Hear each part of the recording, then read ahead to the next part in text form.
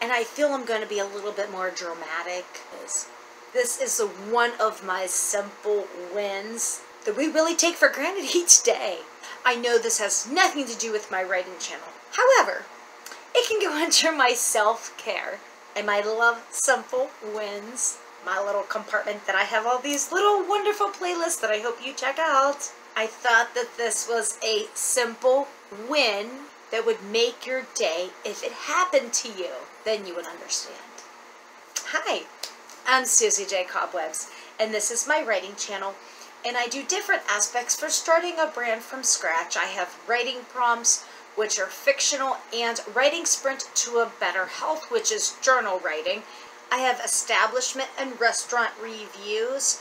I have Nika. She is my Green Cheek Conure. I have all different kinds of videos on her, just different places where this could be uplifting, so you can just check them out. So let me get down to my story.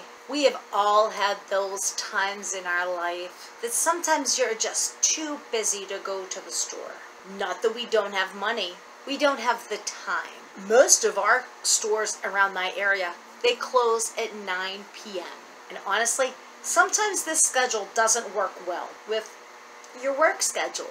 If you would like to go to a place where it is open all the time, I would love to travel. That is really not on my to-do list. Running doing errands after work from working that full-time job, this is one of those days that you have to go shopping. This really seems like a logical solution to this problem. Thank goodness that it is only my man and I that live in this house.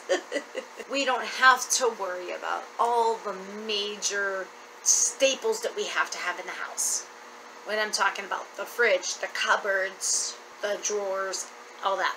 And we can just run to the store, get them on a normal basis. That is, well, you know, that's easier said than done. I am the one that really does most of the food shopping that comes into the house. And then this one week, we had a lot of things going on in the evenings, and I think I'm pretty confident that the weekend was really busy too, that I couldn't go food shopping. We all know plans change, and sometimes quite frequently. And as my man and I thought of the plans of what we were going to do this weekend, we stopped what we're doing in our life. We ended up going on a camping trip. We booked a cabin in the woods for the weekend. Quick, easy, simple, spontaneous. This is what people need in their life. They need some spontaneous, like, love simple wins moments. So, totally off topic, I would highly recommend Boyers Pond Camp. That's in Central City, Pennsylvania. So, as I was planning the list of what we would need for the camping trip, you know, the fridge food was now on the back burner. I thought to myself that why should I go to the store now when we're not going to be home? We're not going to do anything. I'll just get it when we come back. This was really not a big deal. We have a hard enough time fighting expiration dates on the foods, on milk and bread. I mean, honestly, we can't use it fast enough. Enjoying the weekend, I woke up Monday morning, fresh, whatever. We came back from our trip. I was craving a burrito. And if you know me, you know that's not a big shocker. But remember, I just said that I don't have the main ingredients that you would normally have in your house. So I eventually ended up with oatmeal. Not that I'm comparing oatmeal to a burrito. When I came down for lunch, I was looking for something to eat. You know, for your lunch. Oatmeal really wasn't my go-to. But this was something that you could start your metabolism and get your day going. This actually was in combination of my coffee.